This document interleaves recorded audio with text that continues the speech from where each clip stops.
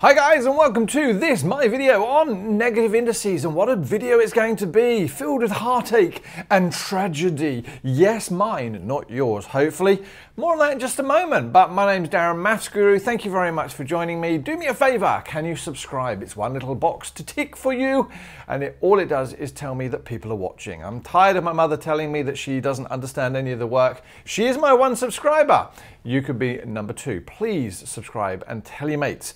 Hopefully you'll find all of the content amusing and um, it'll actually help you with your maths. What are we dealing with today? Well, we're building on the topic we've done previously because we're going to understand what a negative index is and actually what it means. We're going to remember how to, what a reciprocal is and how to express a negative index as a positive index by taking its reciprocal. What on earth is that all about? Well, on the screen at the moment, I like doing a bit of a recap, just in case you've been watching the videos.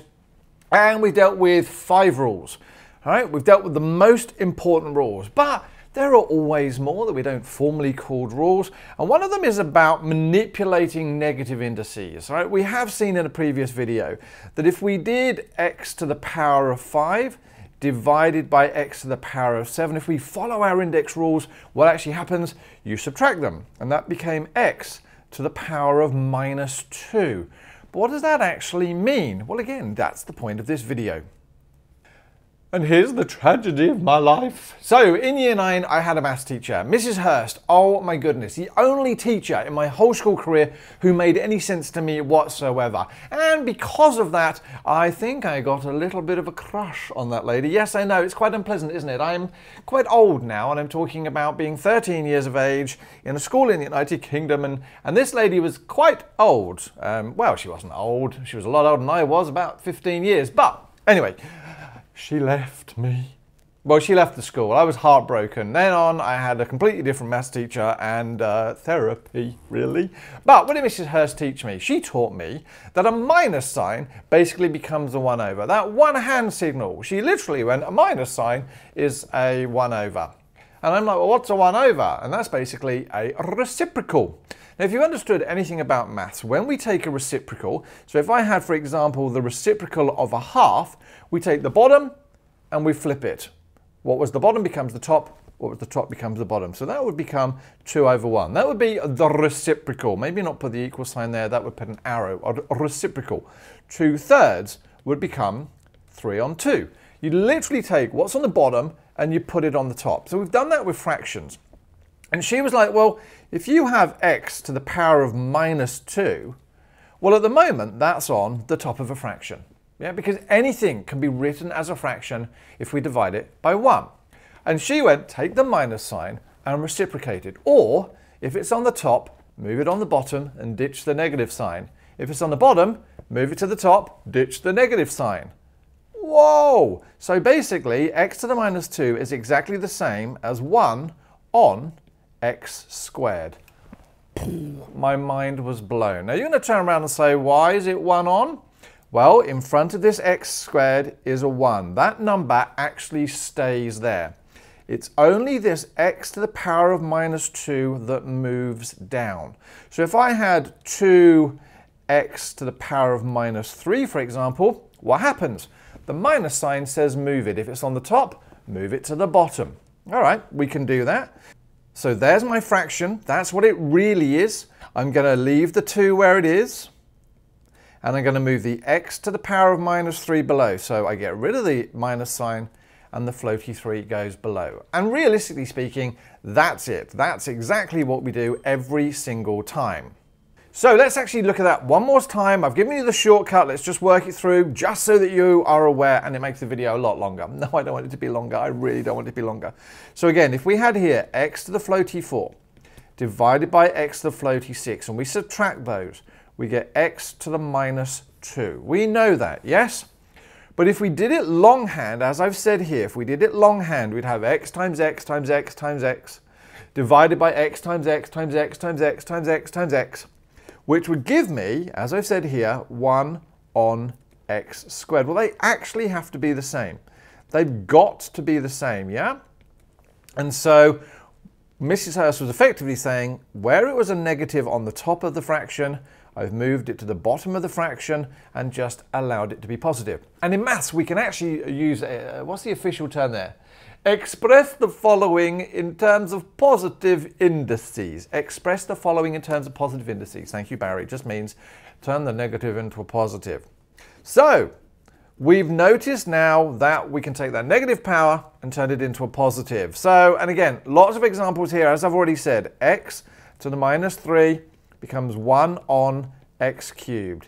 x to the minus 10 becomes 1 on x to the floaty 10. If you don't believe me, just look at what I've done. I've made that negative power there a positive power by moving it from the numerator to the denominator. And I'm sure you're going to try and say, well, is that the only way I can do it? No, you don't. You can move it. I'm rushing myself. Also, what do you notice here? If I had b to the minus 3, c to the minus 2, you take each of those and you turn them, you move them, right? So I can now write that as 1 on b to the floaty 3, c to the floaty 2. Remember, these were both on the numerator of a fraction. Again, any whole number can be divided by 1.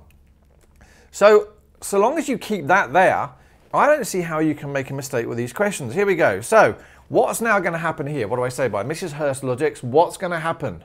Well, it's a negative sign on the bottom of a fraction. I don't want it on the bottom of the fraction. I don't want it negative. So what am I going to do? I'll move it to the top. Absolutely. The 1 on x to the minus 2. This 1 was already there. Leave it there. And I'm now going to times it. I'm going to move that x to the minus 2 up to become x squared. So in which case, my answer simply becomes x squared. The minus 2 on the bottom moves to the top, becomes a plus 2 few more examples. Let's see what we've got. 1 on b to the power of minus 3. Well, we've already got the one there. Leave that on the top.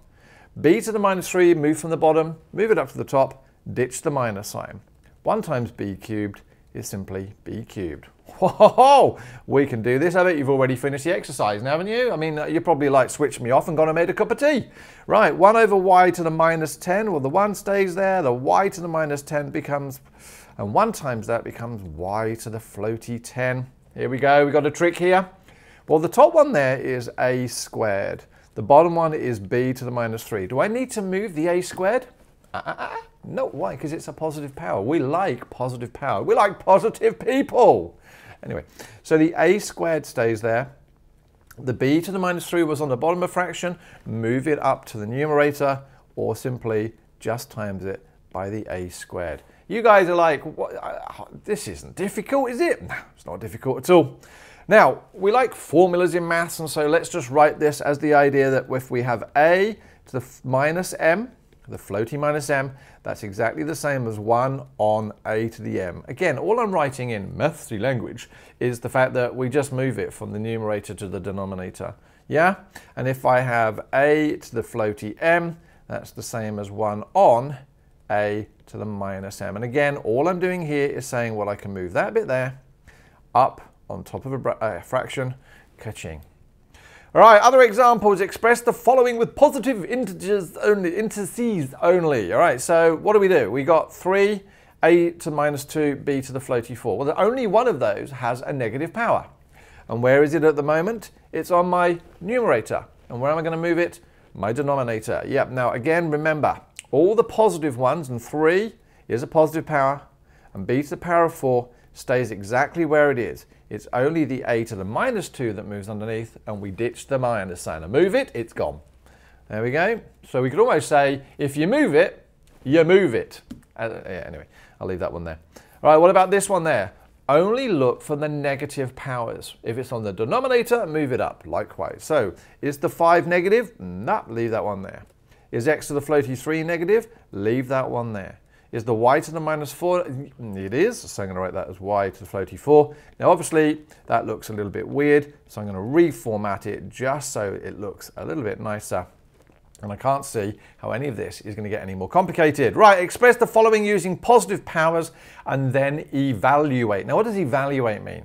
Evaluate. It means write down the value. Yeah, so we're going to write them as a positive power first, and then we're going to evaluate them. So let's look at 3 to the float minus floaty 4 first. Well, that's the same as that as a fraction now. The minus 4 is on the numerator, move it to the denominator.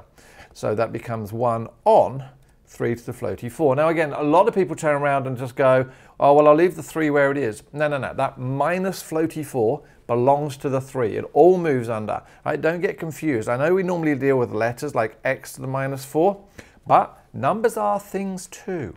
So having written it as a positive index, because it has, we now want to evaluate it.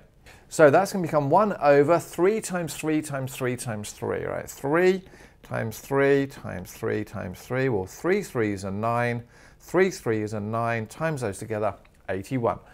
There is nothing wrong in maths in writing little side calculations. No one in the world has said you've got to do it in your head all the time. You can write it down, yeah? And don't use a calculator. Come on, come on, come on. What about this one here? So we've got 5 on 3 to the minus floaty 2. Hmm, that's in the wrong place. We don't want that there, so I've got to write it as a positive power first. The 5 was already there. Now again, lots of people make mistakes now by writing 3 squared. And in an exam, if you were to see that, you might suddenly go, oh my goodness, that's 53 squared.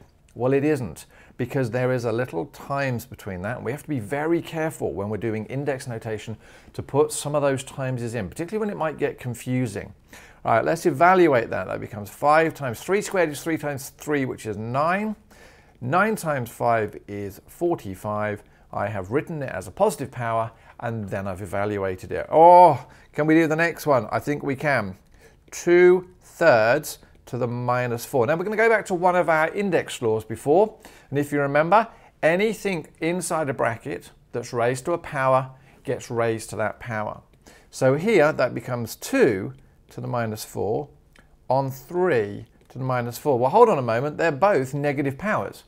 So that means the top's going to move to the bottom and the bottom's going to move to the top. Absolutely. So 3 to the floaty 4 divided by 2 to the floaty 4. They actually just swap places.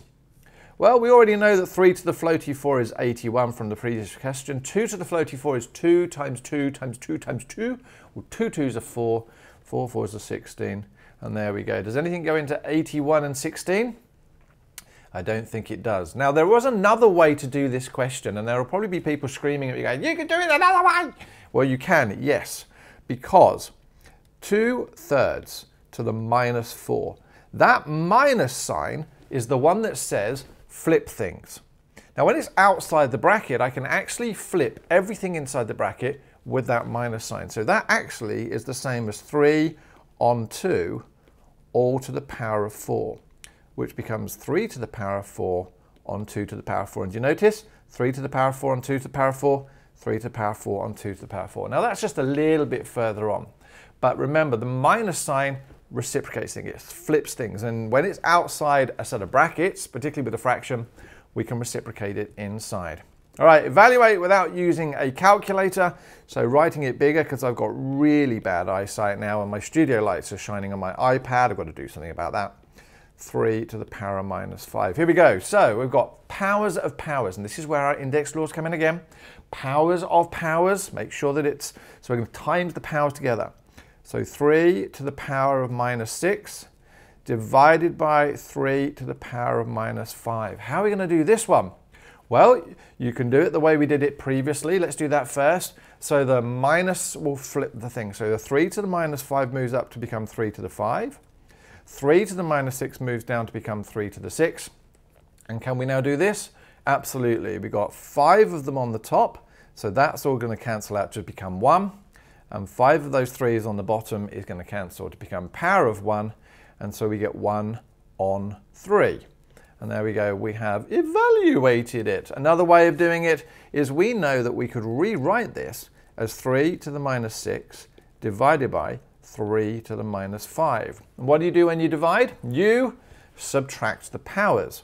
And again, a lot of people make silly mistakes here because we now have minus 6 minus minus 5. If I'm subtracting those powers, I've got minus 6 minus minus 5. So that's going to become a plus. Minus 6 plus 5 gives me minus 1. So 3 to the power of minus 1.